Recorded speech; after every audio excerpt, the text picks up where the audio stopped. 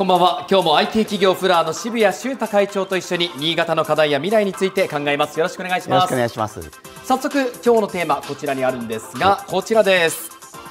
健康食品メーカーが作ったクラフトジンの蒸留所って動員と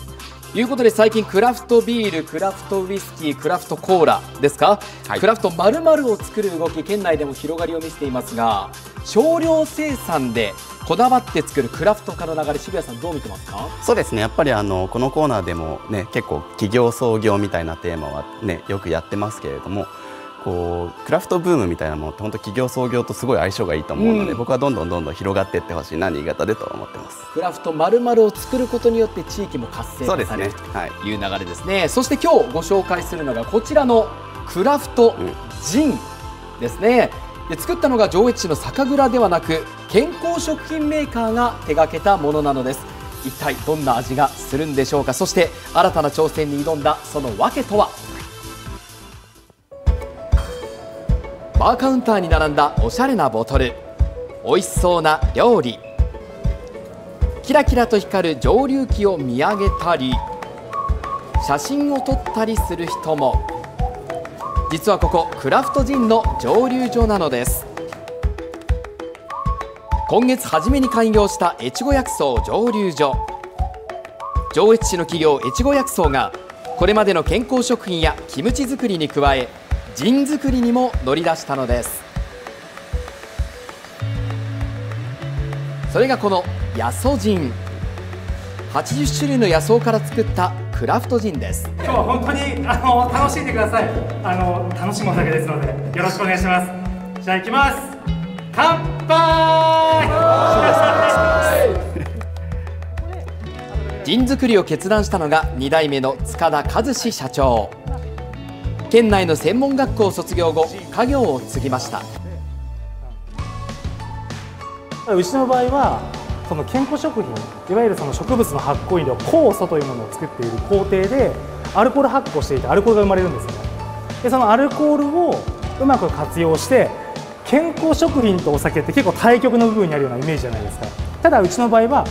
どちらも元は一緒なんですよ、うん、はい、で健康食品の製造過程中に生まれるアルコールはなんかねその健康的な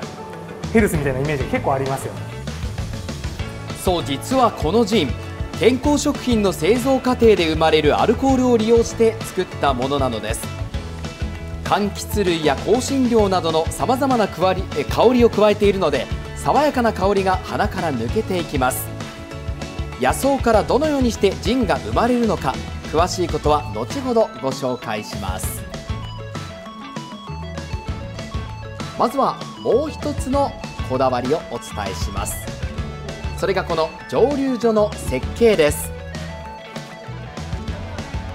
来た人が蒸留酒蒸留所っていうところに興味を持つっていうのが一番大事だと思うのでその興味を持ってもらうっていうところにまずしっかりと思っておいてで建築だったり見せ方だったりっていうのを考えてやっています。蒸留所は3階建て1階はジンの良い香りを感じながら蒸留機を間近で見学できます。2階はアートギャラリー。野草の色素を使って描いたさまざまな模様の絵が並んでいます。最上階の3階にはヤソジンがずらりと並んだバーカウンター。ジンと食事を一緒に楽しめる場所になっています。一般的な蒸留所や酒蔵の見学とはまるで違う体験ができるこの施設。まず前提には2代目のある分析がありました。私たちはお酒作ってるんで蒸留所が旅行の目的になったりはするんですよ。ただやっぱ一般の方がじゃあ新潟県の上越市に蒸留所ができたからじゃあ行こうっていうふうに絶対ならないと思うし。その上で取った作戦はお酒造りをしている工場にレストランっていうハッシュタグがあったりとかアートっていうハッシュタグがあったり、うん、そういったいろんなハッシュタグが多ければきっとでも来てるところはお酒を作るあくまで工場だとでジンに触れてもらいたいっていうのが目的なんでいろんな知らない間にジンを作る工場に来てるよねっていう状況ができるので、まあ、そのためにいろんなハッシュタグをつけてるっていうのは一応イメージ感じになりますね。これまでお酒好きが集まる場所といったイメージをこの蒸留所が覆していくかもしれません。さあ渋谷さんは上流所のオープニングセレモニーに参加されたわけなんですが、雰囲気良さそうでしたね。いやもう本当盛り上がってましたし、うん。何よりもこれ上流所かっていうねもう概念を覆していくような、はい。もう建築も素晴らしいですしアートももちろん素晴らしい、そしてね何より3階のあのバーずらーっともうねとにかくおしゃれでしたね、はい、生まれましたか、いやもう美味しかったですね。はい、そしてこちらには野草をご用意しました。まあ当日飲んだ、そしてかなり渋谷さんのご自宅にはこの半分ぐらいね、そうですね。野草人が並んでいるようですけども、半分ぐらいあるかもしれない味の感想はどうですか？そうですね。やっぱ一本一本こう香りが違ったりとか、はい。またこう定期購読みたいな仕組みもあるので、ええ。毎回違う匂いとか味とかを楽しめてすごい楽しいですしやっぱりこう並べてておしゃれなのでですよね。まあ、家に置いてても映えますよね。これアルビレックス新潟 J1 昇格の記念ボトル、ここがオレンジになっていたりとか、はい。アルビジンがねねボトルもあるようですよ。はい。そしてですね健康食品メーカーが作るジンやはりどのように作られているのかが気になります。その秘密についても取材しました蒸留所の隣にある越後薬草の本社工場です。大量の薬草がこちらの部屋で管理されています。こちらを使って、まあ、ジン、まあ、キムチあと健康食品の方を作っております。こんだけ使っているところは多分あの、まあ、日本でも珍しいと思います。隣の部屋に移動すると大きな亀がずらりと並んでいますその中には真っ黒な液体が。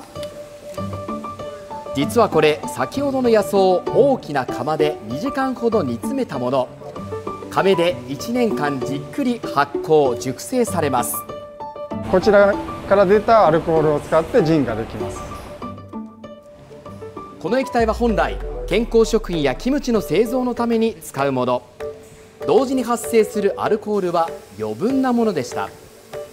その厄介者のアルコールを抽出して作られたのがヤソジン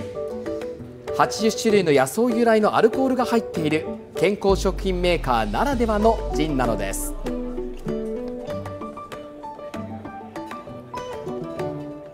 このアルコールで健康効果が期待できるんじゃないのかなっていうのも一つ思ったりはするので、まあ、そこら辺もちょっとじっくり時間をかけて取っていきたいなとは思ってますね。これだけこだわったクラフトジン。街の人はどのように受け止めているのでしょうか。こちらは上越市内のバー。2年ほど前からヤソジンを目玉にしています。やっぱり普通のジンとはやっぱ違った爽やかな味というか、えー皆さんそれでハマっていただくことが多いですね。うちのお客さんでやっぱりジンこのヤソだけを飲みに来る方も多数いらっしゃいますのでこれだけ使って作ってるジンっていうのはジンというかお酒自体が多分もうほぼないと思うので。訪れた常連客は。今までなかなかジン飲む機会なかったんですけどあの地元にできたからあのあ味わう機会もでできましたしあの近くに工場蒸留所もあるんで、はい、あのこれからまた新しいの出てくるの楽しみです。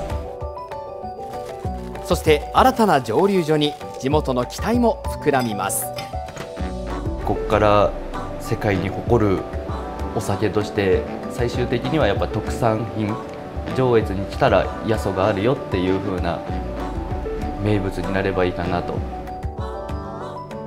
蒸留所が本格的に稼働した今地域の活性化も目標の一つです。新潟県って酒だっていうふうに他県の人だったり世界の人にやっぱ思ってほしい。その中で日本酒もありしあとはビールもあるしワインもあるしウイスキーもあるジンもある。いろんなものが全てやっぱりプロフェッショナルだよね。だから新潟って酒すごいねっていうふうにやっぱ言わせたいと思っていて。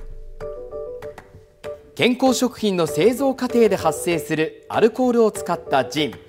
その販路拡大も狙っています。